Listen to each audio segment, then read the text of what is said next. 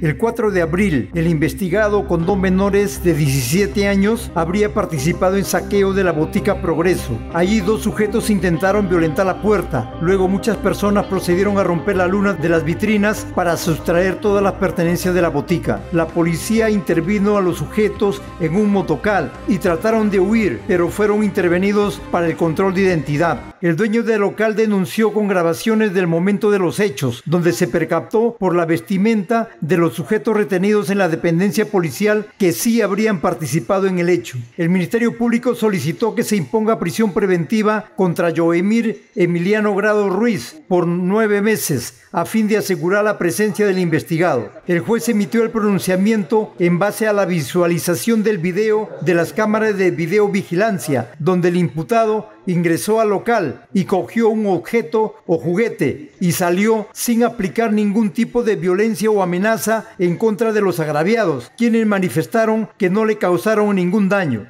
Esta declaración fue tomada en cuenta porque el testigo presencial de los hechos indicó dos veces que no sufrió ningún tipo de daño físico, ya que la violencia o la amenaza típica son los elementos objetivos que definen al delito de robo. El juez determinó que no se cumple el primer presupuesto para dictar la medida de coerción personal de prisión preventiva y declaró infundado el requerimiento fiscal por los delitos de robo agravado y disturbios, pero dispuso que se cumplan reglas de conducta, como la de no variar de su domicilio consignado, comparecer personalmente y presentar su DNI, comparecer a la diligencia del proceso y pagar una caución económica de 500 soles que se hará efectivo a los 10 días hábiles de la presente. Pero el imputado salió de su detención y dijo que es inocente, diciendo que la policía y la fiscalía buscaban a responsables y lo acusaron siendo inocente.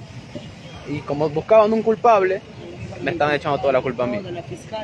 Que yo había roto todo, es decir, que por ser detenidos en su momento ustedes ya fueron inculpados. Inculpados de todo. Tenían que buscar un culpable. Y ese culpable era yo, supuestamente, que yo había entrado con, con palo, con piedra y con fierro. Pero en el video no se muestra nada de eso.